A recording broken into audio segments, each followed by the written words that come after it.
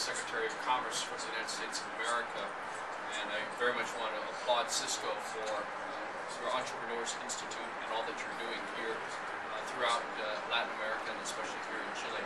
I know that uh, within the next 12 months, I think you're hoping to work with uh, some 800 entrepreneurs in Chile. And uh, as I understand it from what you've said and from what I've read, the whole purpose of the um,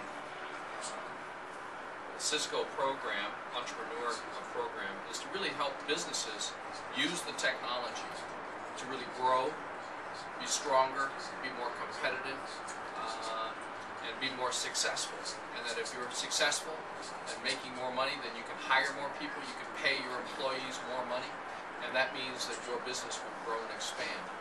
Uh, so much of uh, the jobs, not just in America, but jobs all around the world, are cutting, are starting, are coming with, uh, from small and medium-sized businesses.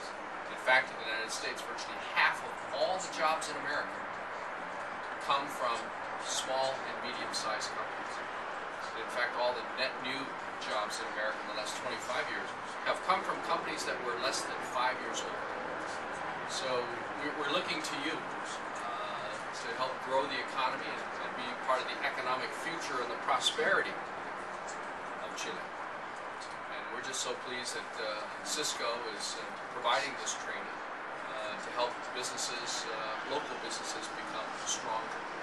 Um, a lot of American companies believe in what we call corporate social responsibility, where they try to give back to their communities. And oftentimes they'll donate money to various social organizations and good causes. But we really think that what Cisco is doing is the new model of corporate social responsibility, trying to help other businesses grow and expand. So that the countries in which American companies operate are more prosperous